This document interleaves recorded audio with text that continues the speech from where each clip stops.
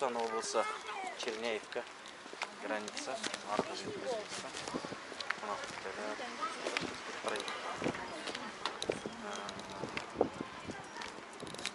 екінші наурыз екі мың жиырма бірінші жыл.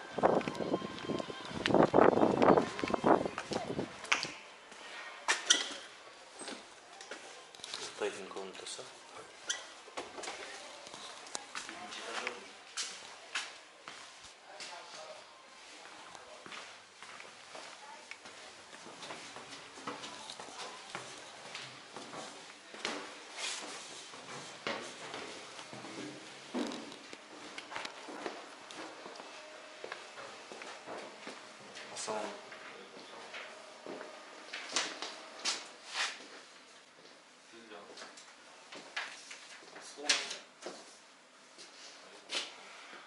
Отчине якийде първи част от парица 8. Или тағы бар ма? Ол арасында ма? Тағы біреу бар. Сіздер неге? Карантин не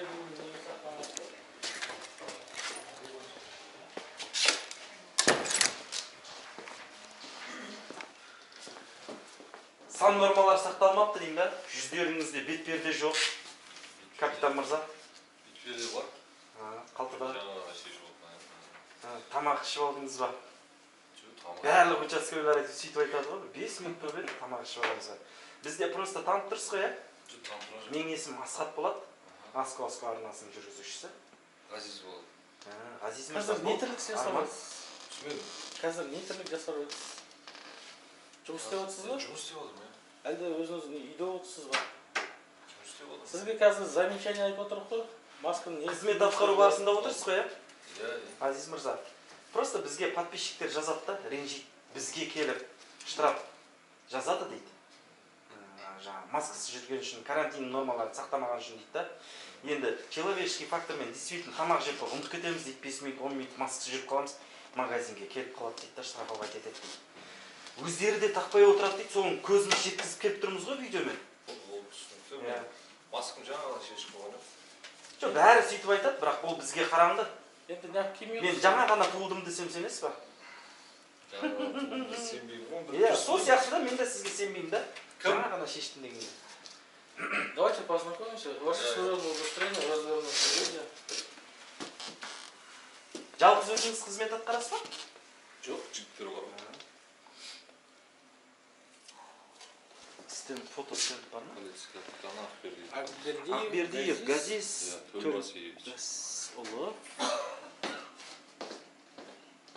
екі мың жиырма екі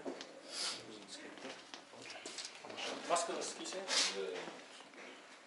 көректілік кигеніңіз бар ма негізі ол маска бар кәне кисеңіз кім деп біреу шақырдыңыз ба шақырып берейін ба мен менің дауысым қатты шығады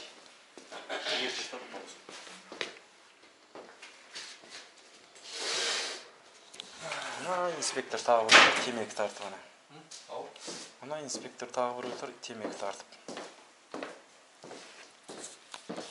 маска жоқ қайда маскаңызды киіп та Мас- маска машинада ма жоқ сыртта да сыртта бұл келіншек осында жұмыс істейді маған келген ғой жаңағы білмеймін әлі үлгерген жоқ енді келіп артынша сіздер кеттеріңіздер ғой анандай помощник болып жұмыс істейді бәрінің фотосы бар ғой асықпай қазір шығады ғой өздері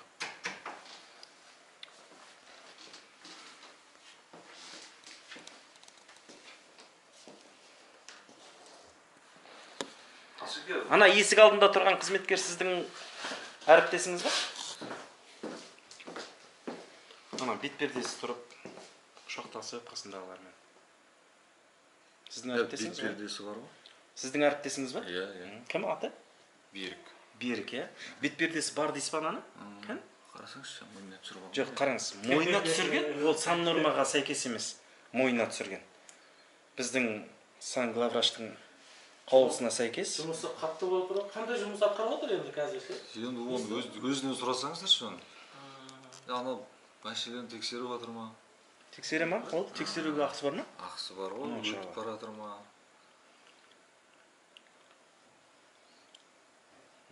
Болды зуммен тартып алдық. Берік дедіңіз ба берік есім сіздің әріптесіңіз иә? Біздің келгенімізге бір бес минут шама болып қалды. Бетперде жоқ рахат.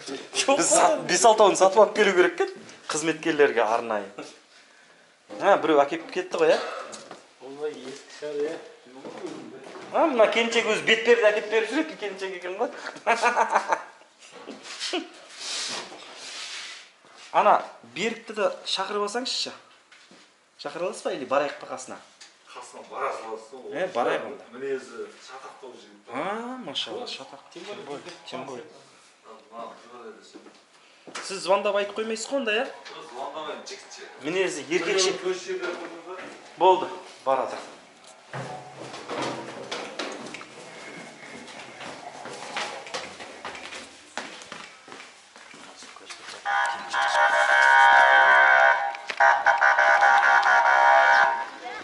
қайсысы анау берік ассалаумағалейкум берік.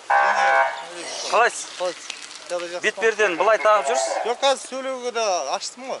Сөйлесеңіз естілмей қала ма бетіңізді жауып қойсаңыз. онда біздің санвраштар ақымақ екен да? Ауыз жауып қойып тұрып. Бетперде тұр ғой менде. жоқ жалпы айтамын да. Міне мынау түсіріп қойып болмайды ғой. Әлде анау өскеменнің депутаттары сияқты 30 секунд демалмай тұрдыңыз ба? Е жоқ не тірлік атқарып қоғамдық қауіпсіздік қамтамасыз етіп жатыр қызмет куәлік мына жерде ә, пост ашты ғой границаны иә ашық айына бір бір рет өтіп шыға аламыз білмеймін точно а білмейсіз иә птр птр керек па керек емес па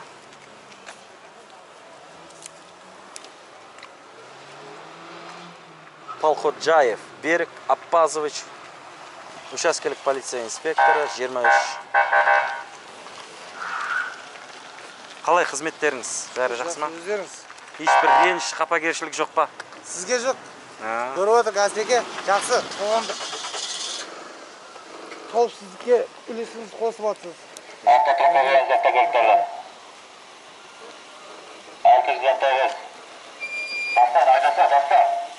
дастан дейді атын да біледі екен ғой. Неше қызметкер бар осы жеті жеті қызметкер бар жартысы іс сапарда іс сапарда жартысы мынау ана видеожетон істей ме істейді істейді істейді таспаның бәрі істейді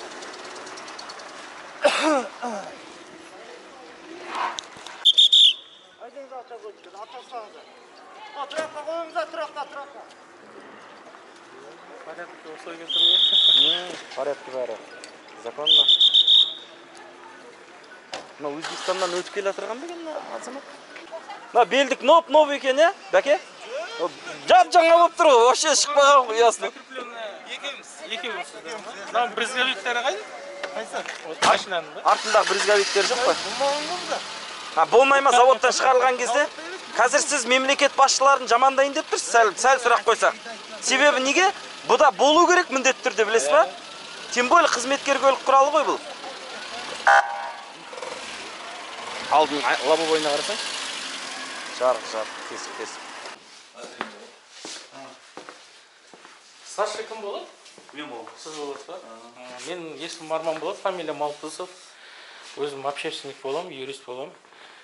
Сізбен танысайық куәлігіңізді көрейікші. Полиция майоры.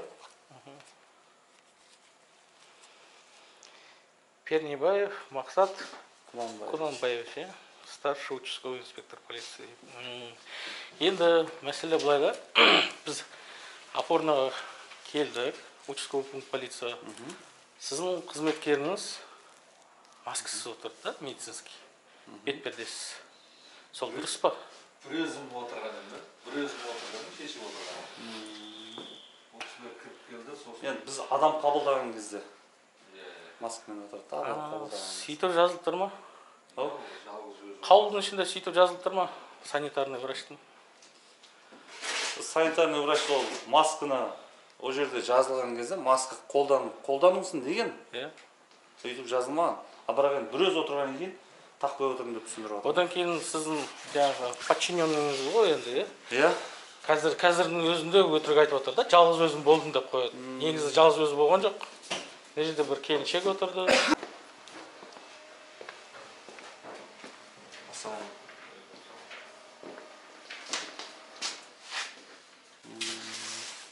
неге өтірік айтасыз олар сізбен бірге қатар кіріп келді ғой олар ой қойыңыз бізде видео бар ғой видеоңыз болса көрсетіңіз соған жоқ оны сізге көрсетпеймін ғой главный санитарный врачқа көрсетемін ғой оны не қыламыз енді материал жинаймыз ба ау материал жинаймыз ба хорошо вы же обязаны принимать меры да иә Ну, давайте посмотрим тогда.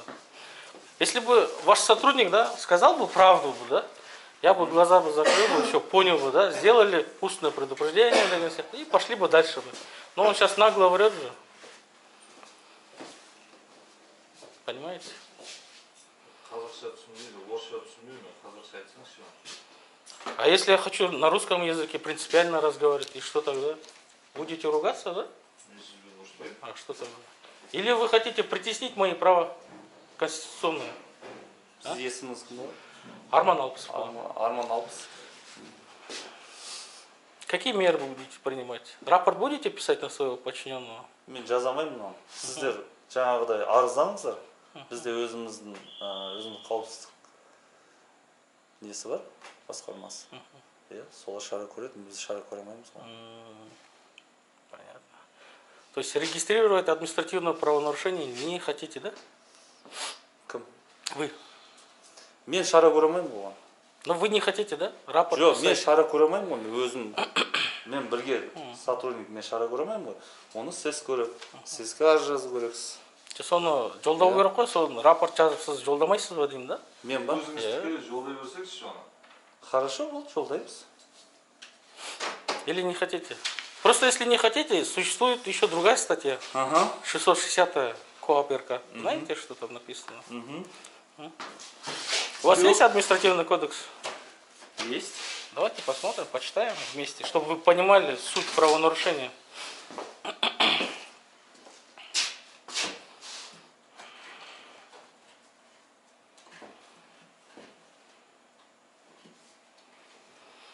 Просто врать это нехорошо.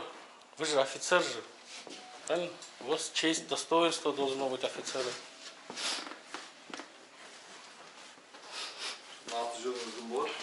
Менікі ма? алпысбай Алпысов Арман Ермуханович. иә Да. не себепті келіп отырсыз В опорный пункт нельзя приходить? жоқ сен айтсаңызшы А? еді, видео түсіріп жатырсыз Да. А вы имеете право пользоваться мобильным устройством, не закрепленное в Министерстве внутренних дел? иә қолданамын А где это такое написано? а где написано что нельзя М? қолдануға Вы болмайды находитесь при исполнении же, правильно? иә Да. У вас э, специальные средства должны быть видеожетоны, согласно 971 приказа, правильно? видеожотондар тұр Да. түсіріп тұр Да, вот на эти устройства и снимайте. А на частное мобильное устройство за- а, снимать түсіріп да Да, вот правильно. Вот этот сотрудник при исполнении видно. А вы мало того, что сами нарушили 425 статью, бланк дайте, пожалуйста. Установлено образца, я Я. напишу.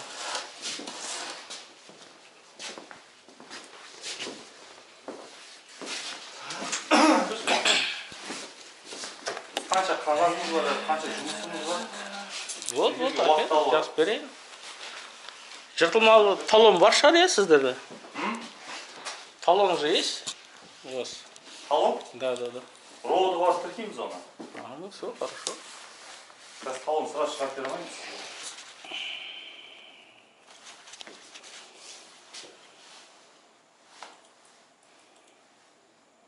сен болайын дедің ба қағаздарын бар біраз бар қағазың бәрі жазып қойсаң А РОВД у вас где находится? қарашы Сарагаш, да? Теперь, чтобы это обращение зарегистрировать официально, для этого надо теперь ехать в Сарагаш, иә да?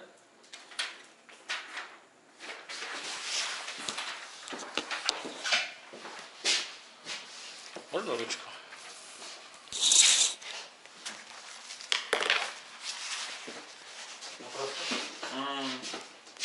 абдыхан сол көлік құралын келіп оформить ететін жол полиция қызметкерлерін жібересіз ба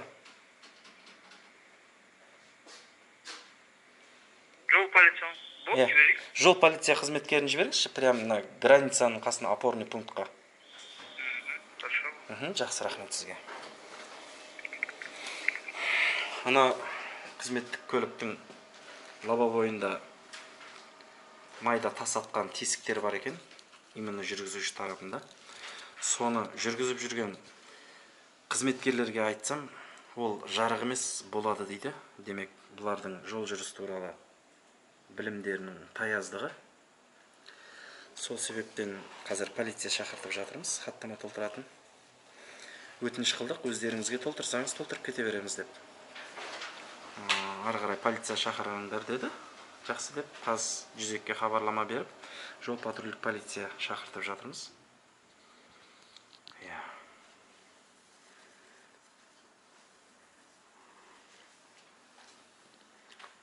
өздері жүр қызметкерлер. Бетпердесіз әлекең арыз жазып жатыр бағанағы кіріп келген учаскелік полицияның бетпердесі отырғанына байланысты. Полицейлердің тұрсының стендтері жоқ. Сыртта болу керек негізі. Қазір ішке кіріп көреміз. Іште іздеуде тұрған адамдардікі бар. Мына жақта бұрышқа тығып қойған екен. Ұялатын сияқты ғой ақбердиев ғазиз төлбасыұлы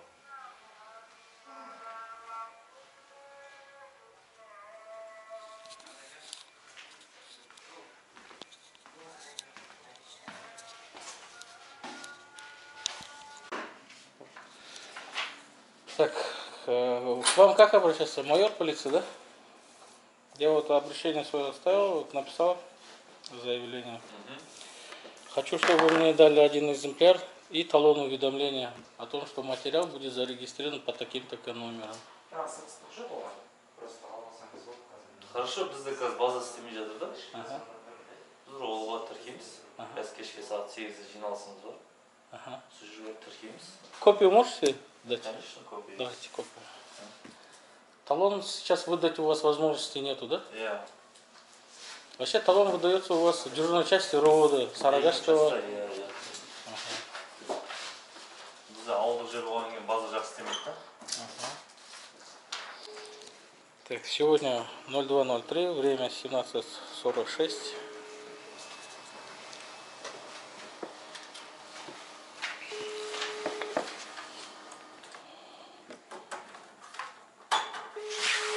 біздікін алмайтын сияқты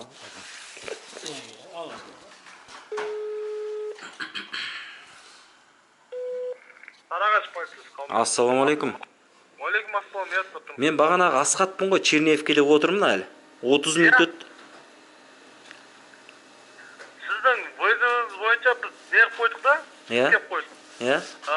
Анау бүгінгі нарядқа түскен гаи қызметкері әкімшілік полиция қызметкері Иә, гаи иә. Қазір дтп неғып жатыр да кабинетінде ше? Жаңағы бір дтп дан келіп материалын істеп неғып қазір Сіз ба ол? ол. Сіз ба? Ә, бұл бойынша жаңағы неменің ә, участковыйлардан хабарластық өздері қазір заңды шара қолданады басқа а өздері заңды шара қолдана ма? Өздеріне өздері хаттама толтыра береді ғой онда иә? Иә толтырады ғой біздер толтыра алмаймыз деді да содан кейін жүзекке жүгіндік та біз. Жоқ участковый толтырмайды оған. Жаңағы не гаи қызметкері бар ғой әкімшілік полиция не Иә. адым практик дейді. Иә. Сол толтырады. Енді қашан келеді? Біз бір хаттаманы күтіп отыра бермейміз ғой. Басқа біреу жоқ па? Жаңағы трассада батальон сіз сіз былай істеңізші былай сіз не қылай келе аласыз ба бізге? Талоныңызды беріп жібереміз да осы бойынша кейін неңізді көре аласыз. Просто бізге суткада бір қызметке берілген да жаңағы әкімшілік Аха. полиция мен дпс жіберейін десем ол жаққа жаңағы ә, сарыағаш қаласына маршруттан уже шыға алмайды да ол қаласы қаланың ішінде жүреді. А батальон ше бағанағы? Нөл батальон батальон ол ішке кіре алмайды ол жаққа қарай. Ол мынаның ішінде жаздыңыз ба? жаңағы трассада жүреді. А, ондай болса ше? ондай болса біз сарыағаш ауылдық полиция басқармасының бастығы полиция полковнигі н. Нұралиевке жаздық. Сол арыздың ішінде көрсеттік. Иә. Көрсеттік сол арыздың ішінде. Бола ма? Сол арызды қабылдап алды бұл кісілер. Бізге бізге хаттама жайында қалай хабарлама бересіздер? Толтырылған толтырылмаған. Сіз мына не бойынша ә, жаңағы талон бар ғой талон? Иә. Сол талон иә. Или болмаса жүз екі звондап білсеңіздер болады. Осындай күні обращение жасаған едік шешімі не болды деп содан сіздер көріп бересіз Екі он бес? Екі он бес жетпіс үш. Екі он бес жетпіс үш. Коды қалай шымкенттен звондағанда? Сегіз жеті жүз жиырма бес. Аха. отыз жеті аха екі он бес жетпіс үш болды болды сау болыңыздар Мгм. а тоқтай тұрыңыз Алло. алло Ну, смотрите, моя фамилия Алпысов Форман. Я оставил сейчас письменное обращение, свое заявление о привлечении к административной ответственности ваших сотрудников. Первого сотрудника за нарушение карантинного режима, м, а, нос- ношение, обязательное ношение медицинских масок, средств индивидуальной защиты. Это раз. Второе. а, Управление транспорт, служебным транспортным средством, нарушение правил дорожного движения. Здесь я пункты все указали. Хот- Требуем привлечения к административной ответственности закрепленного офицера. Если вы со своей стороны уведете от ответственности и не примете соответствующие меры, утвержденные в законодательстве, то, соответственно, на вас будет, э, на руководство, либо на вас, дежурного ответственного, будет э, подана вторая, вторая жалоба, это в нарушении статьи ш- э, 660 КоАП РК. У меня все, если у вас нет. вопросов. алты жүз алпысыншы бап кому бойынша заявление дали вы Как? кому заявление дали говорю Старшему участковому оставили. атыңыз кім, мақсат па толық айта аласыз ба пердебаев мақсат. Пердебаев мақсат. Все все түсінікті мхм жақсы сау болыңыздар.